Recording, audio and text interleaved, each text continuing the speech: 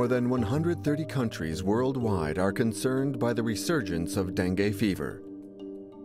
Today, the disease affects hundreds of millions of people on all continents. Every year, 500,000 people are stricken by severe dengue fever, a large part of them being children who must be hospitalized. It is a huge problem in the world, and it is a growing problem in the world. There are billions of people who live in areas where dengue circulates. Um, and we know that the number of cases that are being reported to WHO is on the rise year by year. We had the hospital full of people and some people die. So it's a, uh, it's a very important disease for tropical countries, including Brazil and other South American countries. A few years ago, dengue arrived in Tokyo. Do you imagine in Tokyo? So the people was very upset. Why dengue now in Tokyo? Because the commercial activities is so intense that making the mosquito traveling with the people. We will have dengue cases, dengue foci, and maybe dengue outbreak in, in Europe. Um, there are many reasons for that. Uh, people are traveling a lot, and they are coming from South America, they are coming from Asia, and sometimes they are coming with the virus. And once you have mosquitoes and humans with the virus, you may have dengue. Transmitted by mosquitoes, dengue fever has become a worldwide health issue. It is expanding progressively beyond its endemic regions to temperate countries, and the consequences of waves of epidemics are already presenting a real challenge. There's the risk of becoming ill from dengue, there's the risk of dying from dengue. So, dengue should be thought in terms of a health burden, but also in general of an economic burden as well, which is probably extremely important to deal with. The Pasteur Institute's Defeat Dengue program is taking up the struggle on all fronts. This program brings together several research teams from all disciplines.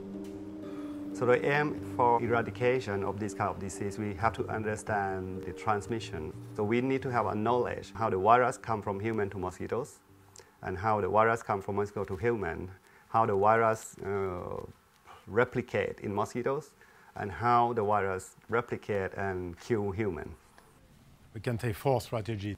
The first would be the vaccine, of course. The second would be uh, vector control, means controlling the mosquitoes. Third, a drug, a therapeutic treatment, and this is a long-term development. And the last is a, a very early uh, diagnostic. If the clinicians can detect dengue virus infection very early on, during the first days of infection, the mortality rate can be decreased from over 10% to less than 1%. Now the clinician needs to know what patient is at risk of developing a severe form of the disease. We have identified viral factor that circulates in blood. By understanding the way this viral factor will compromise uh, the vascular system, we expect to interfere with its function and uh, be able to prevent the development of the severe hemorrhagic forms of the disease. For me, in the future, it will not be possible to control dengue with only one method.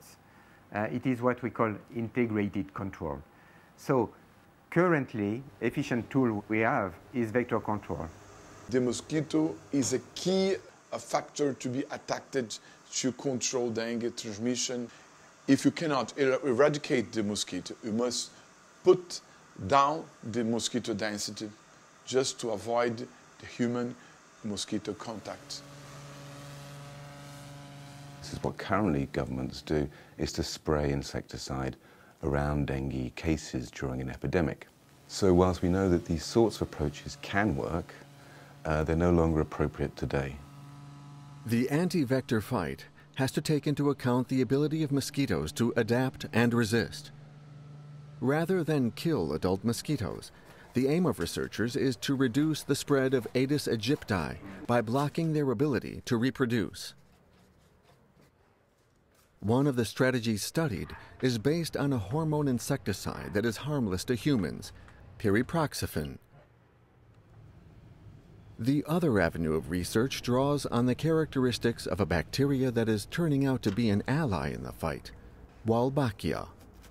Wolbachia is naturally present in mosquito, and then Wolbachia is able to shorten the life of the mosquito and also to interrupt the transmission and avoiding the transmission of virus from the mosquito to the humans. Dengue fever is a complex disease which can be caused by four different serotypes of virus. Development of a vaccine against dengue fever will mean a decisive stage of the battle has been reached. The Pasteur Institute is using its expertise in this field to develop an innovative approach. Usually for dengue, all the approaches use four vaccines mixed together, and we will use a single vaccine which express an antigen that should provide protection against the four serotypes. We have in hand in Pasteur a vaccine platform which is based on measles vaccine. So we want to use the benefits of this vaccine and transpose these benefits to dengue. And measles vaccine is a live attenuated vaccine, harmless. So now the vaccine is going very well. So we're going to test in, in monkey very soon, and hopefully that we can go to clinical phase one in a few years. This battle against the disease is being waged on several fronts. Many laboratories within the worldwide Pasteur Institute network are involved, notably those facilities situated in or close to the endemic countries. There are some countries which do need a Pasteur. I don't just simply because the, the public health system is not sufficiently developed. Um, and even in places where it is sufficiently developed, it's, it's extremely useful to build up a long-term relationship, um, which the Pasteur Institutes overseas do. And they work together, both in public health and in fundamental research, with um, the local government and the local researchers in the countries concerned. The program to fight dengue fever is benefiting from the work of numerous institutes who are coordinating their research.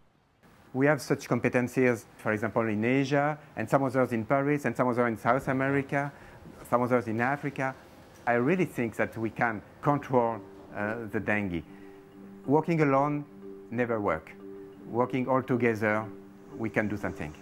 The Oswaldo Cruz Institute in Brazil, in Rio de Janeiro, has a long tradition on mosquitoes uh, biology, behavior, distribution, density that can be complemented with studies of mosquito competency to transmit virus.